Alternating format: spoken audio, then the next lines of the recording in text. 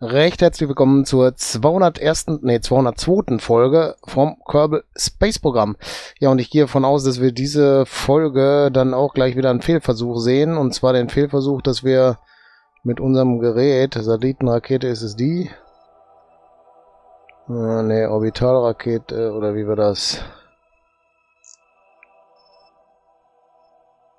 Nee. Das ist nicht die, oder? Das ist nicht der. Sondern wahrscheinlich die, ne? Oder? Wenn man jetzt wüsste, welcher der letzte Flug war, ne? Ja. Kann man nach irgendwas anderes sortieren hier? Äh ja, aber Satellitenrakete oder war das irgendwas mit Orbit Polar? Ne, war schon...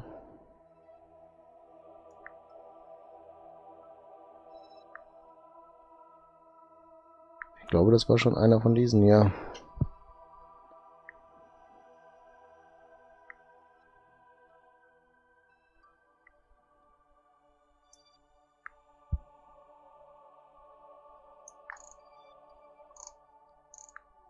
Der da muss es sein. Dieser hier ist es. Okay. Genau so ist es. Das ist unser Objekt, was wir brauchen oder was wir äh, eigentlich nicht brauchen, ne? Ja, komm, zack, fliegen. Ja, das Ding ist im Endeffekt wahrscheinlich auch wieder zum, sag schon, äh, Scheitern verurteilt, ne? Wir machen mal das hier los. Weil wir müssen dann doch schon zusehen, dass wir hier die Solarpanels auf jeden Fall hinkriegen, ne? Damit wir steuerbar bleiben.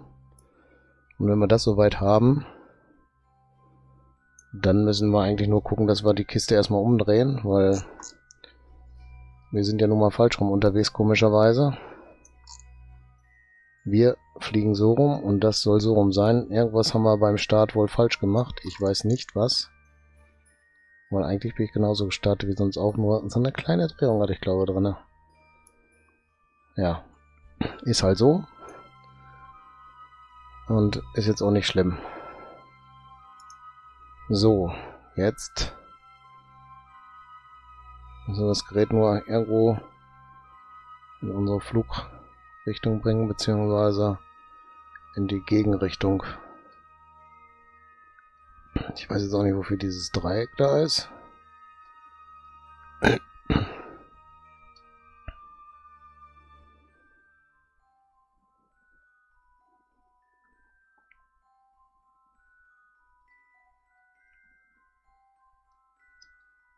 Gucken wir mal, dass wir das mal gerade ansteuern.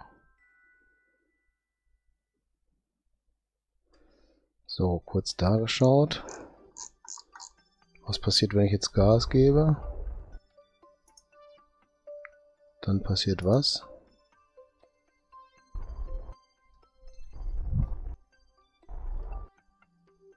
Wird vor allem die Periapsis kleiner. Wir sollten vorspulen bis hierhin. Das macht Sinn. Und dann einfach mal Vollgas geben, ne? Oder? Gucken, dass wir das dringend umgedreht kriegen. Stopp, das wird jetzt größer anstatt kleiner. Das wurde doch erst kleiner, oder? Keiner weiß genau was, ne? Das bedeutet, wir müssen nochmal 180 Grad drehen.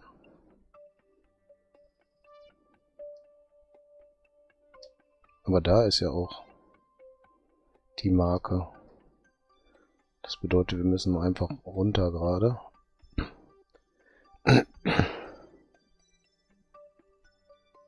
Es sind so viele Markierungen hier. Da ist auch noch eine.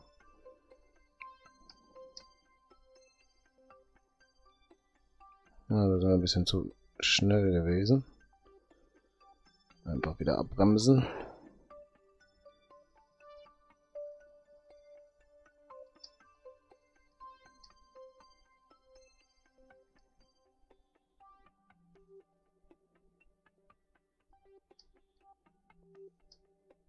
So. Und da jetzt Vollgas, dann wird das kleiner, sollte sich drehen und dann sollte es wieder gehen. Bis es wieder größer wird, ne? Eigentlich. Machen wir doch einfach mal.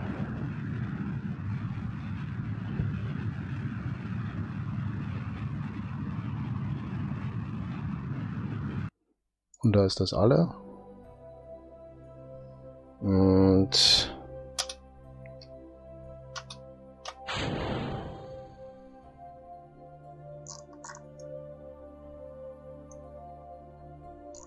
Ach so, wir haben noch nicht... So, jetzt geht's weiter.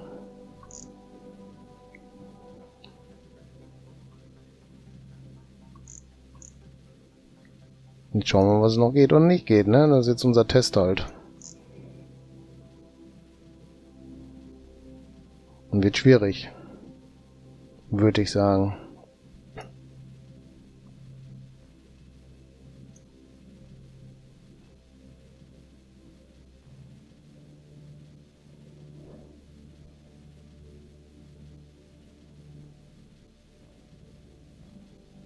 Ah. Was für eine Höhe haben wir denn? 162, könnte aber noch was werden. Aber wenn, dann ist es auch nicht schlimm. Weil das war sowieso ein verkorkstes Ding jetzt, ne? Ist halt noch ein Versuch. Irgendwas hinzukriegen. Wie weit kann man mit so einem kleinen Satelliten jetzt was erreichen noch? Aber ich glaube, das Ding, das Ding drehen wir nicht mehr um. Dafür sind wir zu schnell. Dafür ist der Kleine dann doch nicht stark genug. Dieser kleine Satellitenantrieb.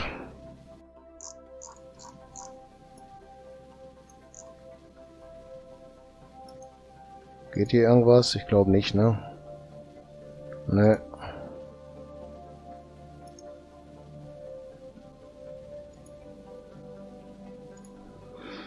Druckdaten gehen auch nicht. Temperatur haben wir bestimmt auch schon gemessen. Alles ist gemessen. Bringt also nichts.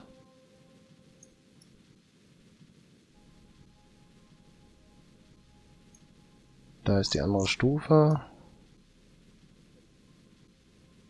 Wir müssten ja jetzt so rumfliegen dann. Da lang. Und wir arbeiten dagegen, ne?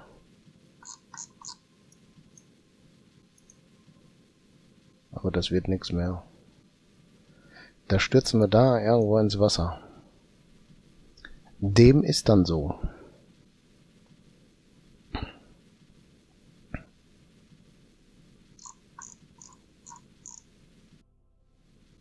Da ist der kleine Satellit. Aber wir können mal gerade noch den Auftrag angucken.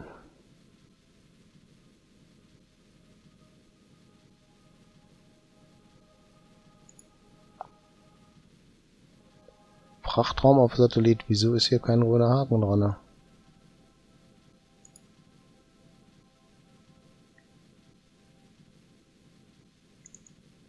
Das ist jetzt komisch.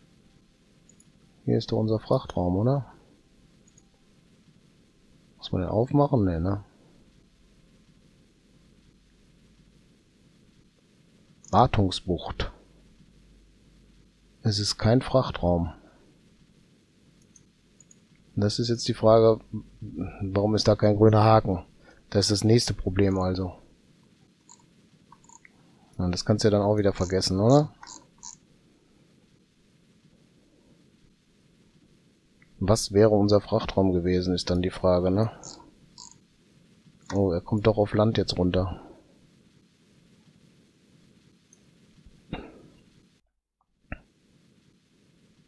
Und das ziemlich schnell, ne? Aber der wird vorher verglühen, bevor er den Boden erreicht, würde ich mal sagen, ne?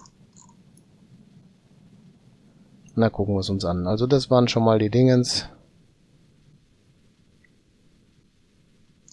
Photovoltaik ist schon mal weg. Das hätte ich jetzt nicht gedacht, dass der hier nicht schon verglüht. Der ist nicht verglüht. Da wäre ich jetzt aber von ausgegangen. krass, oder? Ist der dagegen rudert?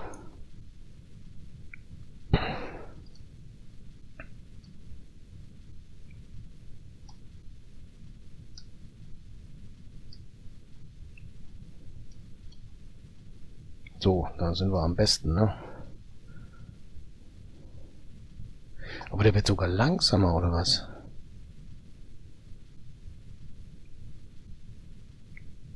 Wie viel Saft hat denn der noch? Ah, der ist gleich alle. Strom ist auf jeden Fall genug da. Hier, guck mal, der hält leer an. Nein, nicht wirklich, aber ist schon eine Sache, dass der das abbremst, hätte ich jetzt nicht gedacht. Okay, die Kiste ist natürlich vielleicht auch nicht so ganz so schwer, ne?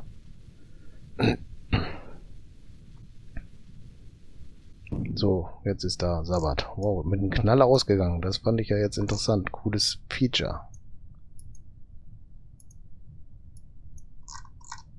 Kriegen wir noch irgendeine Datensammlung?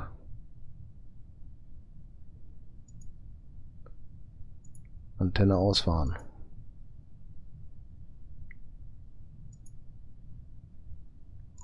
Einsatz würde Teil zerstören, okay. Druckdaten protokollieren geht nicht.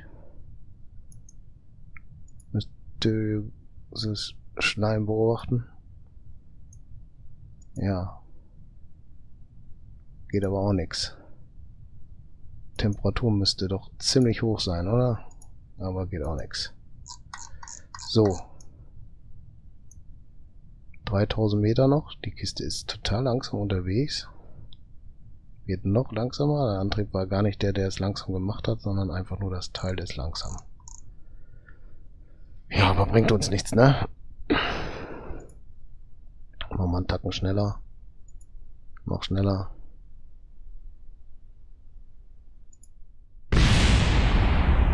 Und dann ist der Satellit gelandet. Oh, ist sogar noch was übergeblieben. Der hätte jetzt nicht mitgerechnet, ne? Ich wäre davon ausgegangen, dass er komplett kaputt geht. Oh, da kriegen wir so ein paar Punkte. Experiment behalten. Temperatur gibt es leider nichts. Barometer. Auch nichts. Okay, aber wir haben so ein paar Punkte gleich. Ein bisschen Geld ist geblieben durch die Sache. Aber war äußerst schlechtes Ding halt. 0,2 Wissenschaftspunkte. Ja. Jo, das war's dann im Endeffekt, ne? Das ist was schiefgelaufen ist. Aber der Frachtraum war immer noch ein Problem, ne? Das ist nicht schön. Laden wir mal. Wo ist die Kiste? Orbitalrakete, war die das? Ne, war das nicht. Hieß ja nicht Orbitalrakete. Satellitenrakete hieß das, ne? Oder? So, und was mich jetzt irritiert ist halt, dass wir hier dieses hier ist ja nichts drin, oder? Und dann machen wir mal näher ran. Öffner ist leer. Wartungsbucht. Wartungsbucht ist kein Frachtraum.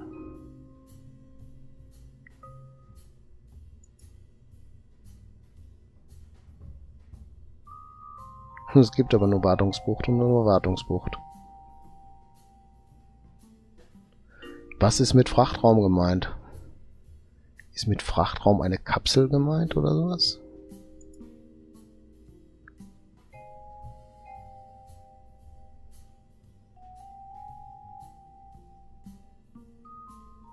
Mhm.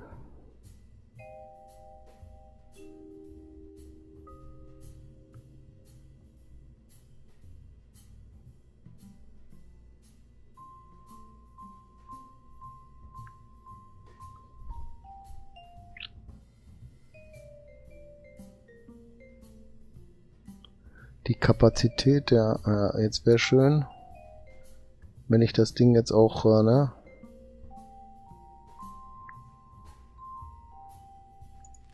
lesen könnte. Aber das kann ich nicht. Ich würde ein bisschen runterscrollen wollen, ne?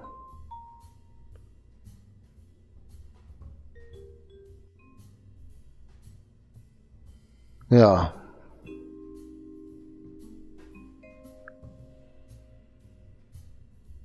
Wie soll ich denn da scrollen?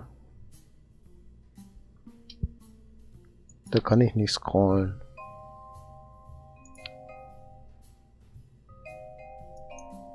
Klick Maus 2 zu Show mal Info, okay.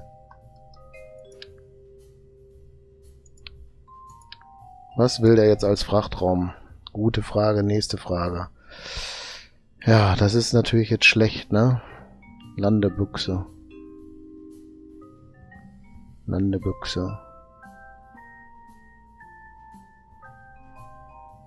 Kuppelmodul.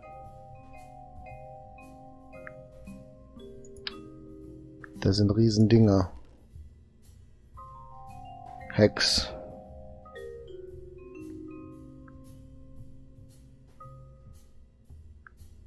Kuppelmodul ist riesengroß.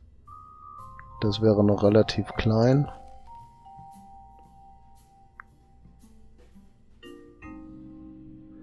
Ja, weiß ich auch nicht. Da muss ich nochmal recherchieren. Da sind wir jetzt erstmal raus aus der Nummer, würde ich sagen. Nicht speichern. Gehen wir ins Zentrum und ich würde sagen, wenn ihr noch nicht abonniert habt, dann macht bitte ein Abo. Wenn euch die Folge gefallen hat, dann gebt einen Daumen hoch, obwohl da war jetzt nichts Tolles dran. Aber trotzdem, damit es weitergeht, könnt ihr mir das trotzdem dann machen. Dann freue ich mich. Ja, und sonst würde ich sagen, sehen wir uns in der nächsten Folge. Ich bedanke mich fürs Zuschauen und bis dann. Tschüss.